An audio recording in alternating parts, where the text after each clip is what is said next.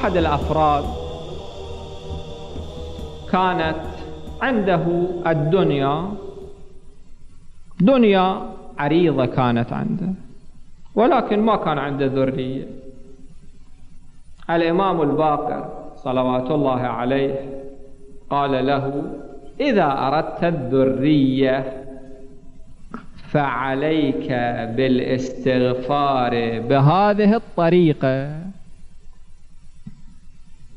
إذا أصبحت وأمسيت.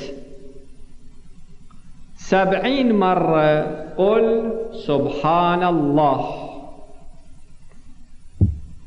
عشر مرات قل أستغفر الله. تسع مرات قل سبحان الله. مرة واحدة قل أستغفر الله. يعني كم مرة؟ تسعين مرة. سبعين تسبيح. عشرة استغفار. تسعة تسبيح. واحد استغفار. تسعين. إذا أصبحت وأمسيت بهذه الطريقة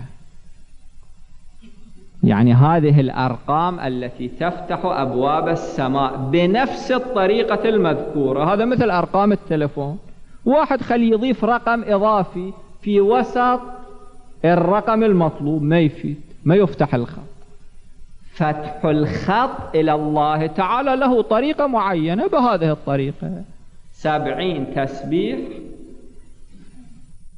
عشر استغفار تسعة تسبيح ويختم باستغفار واحد.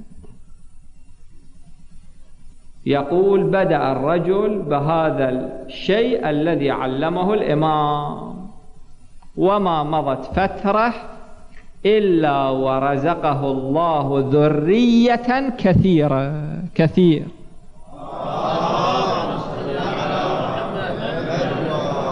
أحد الرواة يقول أنا كانت لي ابنة عم أيضا ما كانت لها ذرية. فعلمتها ذلك. الله تعالى أعطاني ذرية. وما علمتها أحدا إلا ورزقه الله الذرية الكثيرة.